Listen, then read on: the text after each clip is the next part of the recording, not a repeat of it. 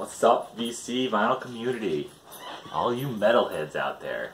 It's Todd Guy, Thrashing Zombie, Itchy Nose, uh, with contest entry, another one. Um, this is for a new, subs- uh, not a new subscriber, uh, a, a guy I just subscribed to. Somebody else entered his contest, and I checked it out. Kind of interesting contest. I struggled a little bit with this. Uh, it's four questions. Show four albums in any format. It's for his. It's it's for the Vinyl Hazard. Um, his one year in the VC contest. Um, got four questions for us. You could win two albums by a band called Wormwood. I think it's Wormwood. Uh, it's at, atmospheric black metal, he said. I don't mind some black metal, so. Uh, four questions.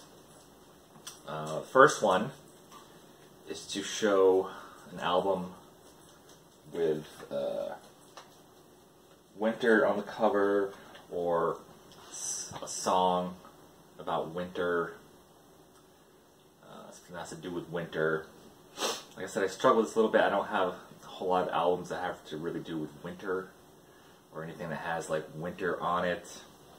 So I chose, very obvious, Cinderella's Long Cold Winter. Actually has them in the snow in the back. and it has a song called Long Cold Winter. It's not about um, like black metal stuff, Long Cold Winter, or, or winter stuff. This is more of a Long Cold Winter Without You kind of love song, sort of, I guess. Um, but yeah, but Long Cold Winter, the white cover, song's called Long Cold Winter. They're in the snow on the back. Uh, it's winter. So that's the first question. Second question was a show an album has to do with has forest on the cover, or songs that have to do, or song that has to do with a forest, or an album title has to do with a forest. Uh, I, I went between two different ones on this. Originally, actually, originally I went with the one I'm showing. Then I just I was gonna go with Revocation song, um, Cross Forests and Fjords. But then I was like, no, let's go back to this one. It's actually on the cover. That's Blind Guardian, Somewhere Far Beyond. They're in a forest. There's, you know, travelers. There's like, um, not an elf, uh, a dwarf probably. They look like, uh, kind of like Lord of the Rings sort of stuff. Um, if you look closely, you can see little creatures in the forest, like watching them. It's kind of a cool cover. Excuse me. It's a pretty good album too. I like older Blind Guardian stuff. Um, you know, time, what is time? Journey through the dark. Theater of Pains. The song somewhere far beyond. The Bard song in the forest. The Bard song in the Hobbit. Some good power metal here. It's fast. Um, yeah, so there's a co- uh, album cover with a forest. Blind Guardian, somewhere far beyond. The third question was a was an album that had to do with solitude or loneliness. Uh, he said it could be interpreted kind of however you want. It could mean like loneliness, like one person on the cover, or could have, or be a song about loneliness, loneliness or solitude. Um,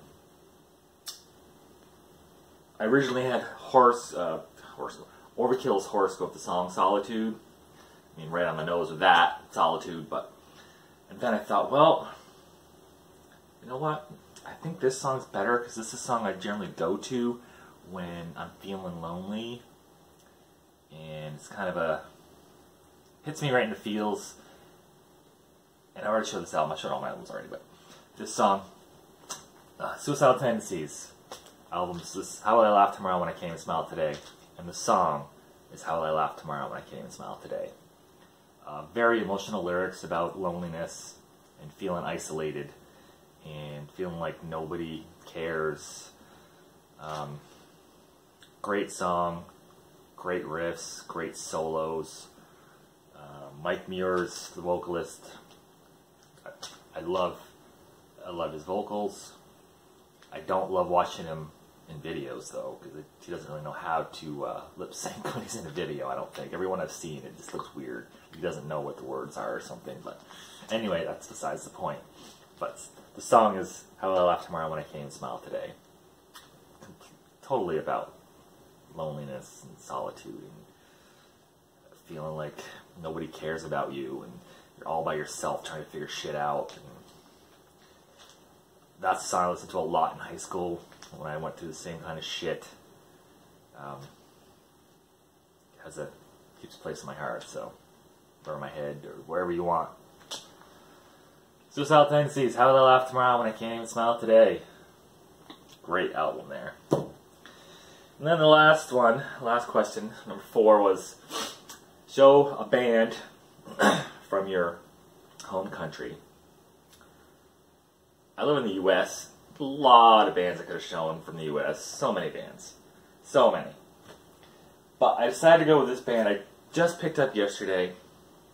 I haven't even shown this album yet. This is going to be in my vinyl finds. Um, but this is an American crossover thrash band. They're formed in Astoria, New York, which I'm in Vermont. And New York borders Vermont, so it's, it's really close. Uh, they're formed in 1984 by the guitarist A.J. Novello and vocalist Eddie Sutton. They started with the name The Unruled. The Unruled. Uh, they played along groups such as Crumbsuckers, Prong, Ludichrist, Bad Brains, and Sick of It All, mostly at the famous CBGB venue in New York. Uh, they had a tight fusion of hardcore punk, heavy metal, thrash, hip hop, and even reggae. They're often credited as being one of the most influential and exploratory bands to emerge from the New York, the New York hardcore scene. And that band, which I listened to online, is a band called Leeway. This is Born to Expire. It's their first album. I believe it to be an OG press.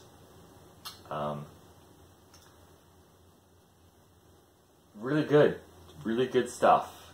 Um, definitely, tell it's got that crossover hardcore thrash, heavy metal feel to it. Uh, didn't hear much reggae in here or much hip hop really, but definitely has the uh, the sound of hardcore and thrash metal in here. Absolutely fantastic album.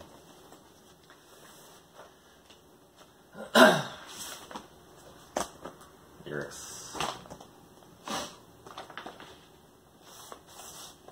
Profile. I haven't even cleaned this yet or listened to it.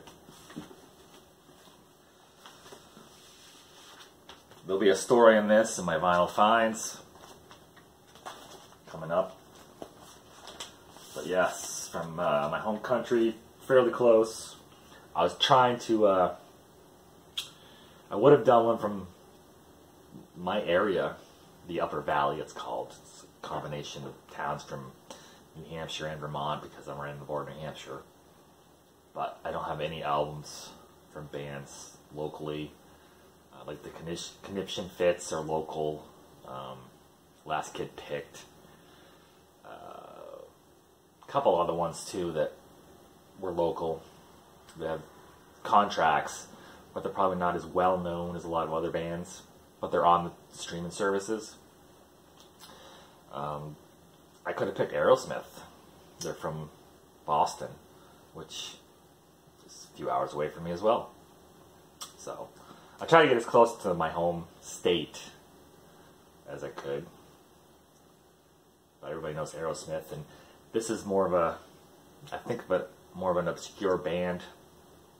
So, Leeway, born to expire. that is my contest entry for Vinyl Hazard. Uh, one year in the in the uh, Vinyl Hazard's one year in the VC contest. I hope that's good. Um, did my best. so congratulations on being in one year and was it 136 subs I see you had, which which is great too. Um, I'll have to start checking out your some more of your videos. I just subscribed the other day when I saw somebody enter the contest, so I'll have to start checking out more of your videos. And